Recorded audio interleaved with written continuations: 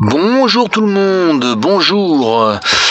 Vous vous demandez sûrement euh, la quantité de gaz de climatisation euh, que vous avez euh, dans votre i3.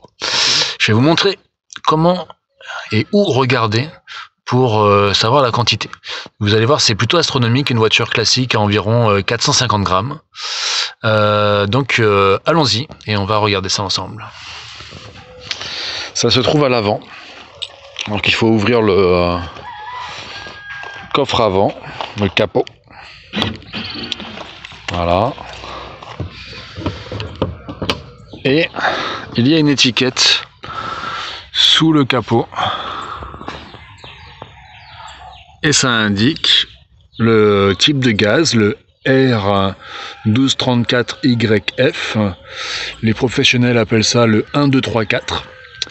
Et 970 grammes, plus ou moins 10 grammes. Ça, c'est sur la i3. Je ferai une vidéo sur la i3S et on verra.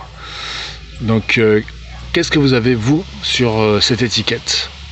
Est-ce que vous avez 750 On m'a dit que on avait 750 si on n'avait pas la pompe à chaleur et 970 si on avait la pompe à chaleur. Qu'en est-il pour vous? Merci euh, de m'en informer. Pensez à vous abonner, pensez au petit pouce bleu et à très bientôt.